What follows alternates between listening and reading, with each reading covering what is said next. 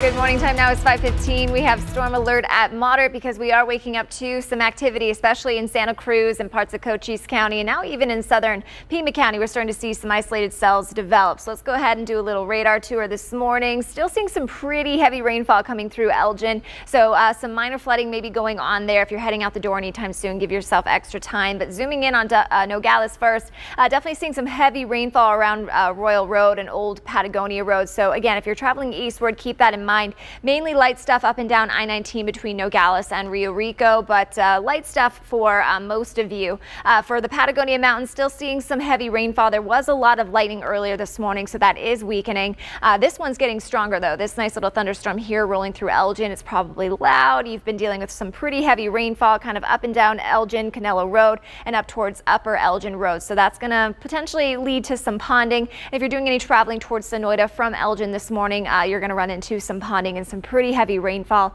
Visibility is probably going to be quite low as well because this rain is coming down. Rainfall rates are over about three, three and a half inches per hour. So mm, it's still, it's moving, but we're seeing a lot of training. So heavy rainfall kind of falling in the same spots. So flooding could be uh, an issue there here pretty soon. So keep that in mind.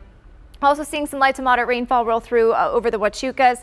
Sierra Vista, you all had a little bit of rainfall earlier this morning too. Palominas, some isolated stuff at the moment. So roadways will be a little bit wet for the southwestern corner of Cochise County. And then we are seeing some isolated cells develop around Vail and Corona de Tucson. Nothing major at the moment, but those are producing some pretty heavy rainfall rates and not any lightning at the moment, but they could. So we'll keep a close eye on that as well. But that is as far north as those showers have developed so far. So live view outside right now up on Mount Bigelow looking towards the south, just pretty cloudy this morning. Of course, the faster we clear out the cloud cover, the better, uh, because that will help fuel the thunderstorms later on this afternoon. Temp wise, most of us are in the 70s and 80s, so feeling pretty warm and pretty muggy out there. And to the south and southeast, mainly in the 60s right now, so a little bit cooler for our friends there where it's raining. Uh, for today's uh, highs, we're going to push it into the 90s and low 100s. We'll have a few thunderstorms here in Tucson. We've got about a 30% chance. So remember, that means around 70% percent of us are not going to see anything, so less than half of us will see some showers today.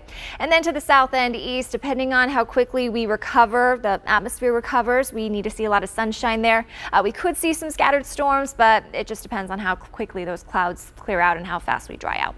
Storm threats remain the same. Hail threat is low. Flood, wind, and dust will all remain moderate, not only today, but through this upcoming holiday weekend. So just continue to stay storm alert each afternoon.